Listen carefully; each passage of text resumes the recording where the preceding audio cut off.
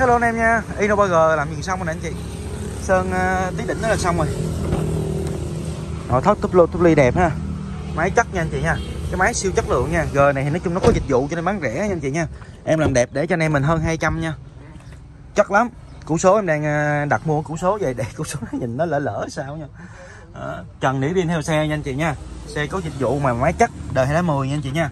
210 nha. 210 hai túi khí thắng ABS nha. Em đang cho Sơn làm mấy cái này nè keo chỉ nguyên bản ha. Năm lớp vỏ ok máy im ngon. Vô nổ máy mở cabo luôn nha em ruột. Đó.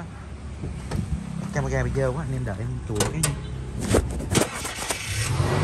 Đó, có băng liền không? Đó. máy chắc lắm cho rửa máy nữa khỏi phải chê. Đang một cái mát đầy đủ nè chị. Đúng quá lỡ không nổi rồi. Ờ, cái gì? máy gì anh em nhìn không keo chỉ nguyên bản luôn xương đầu ngon lành. Xương đen nha không có trúng độc nhân gì nha. Xe gì? Đang hả? á. keo chỉ nha ha đầy đủ. Máy chất lắm anh chị ơi. Bị lắc khô ngon nha. Xe thì khỏi phải chê.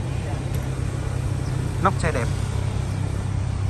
Em đi bằng Fortuner bên đó. Fortuner máy dầu 210 để này mình à, 430 triệu thôi.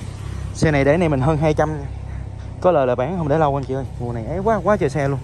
Đang uh, bến tre mấy cái bãi xe ở bến tre em á, thì hiện tại giờ còn khoảng 80 xe anh em qua lựa nha. Rất là nhiều dòng xe luôn. Tha hồ lựa chọn. Chiều nay em về xe Suzuki Ertiga số tự động anh chị. 300 triệu à. anh em nào xem được ủng hộ em Thịnh nha. Rồi cảm ơn anh em nhiều. Chúc anh em mình buổi trưa vui vẻ nha. Anh em nào xem được ủng hộ em nha